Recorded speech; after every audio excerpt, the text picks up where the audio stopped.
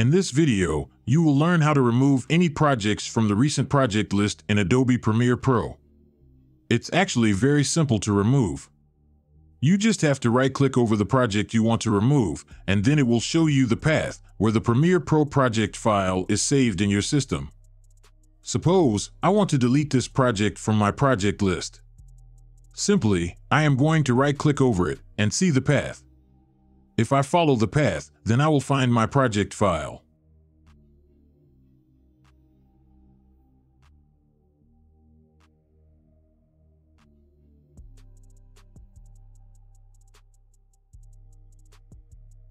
Delete it and restart Premiere Pro.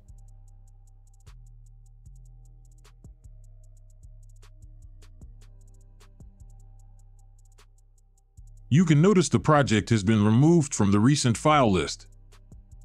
Similarly, you can delete multiple projects or clear the whole project list if you want. In a general scenario, the location of all your Premiere Pro project files will be similar. Delete all the files and restart the software.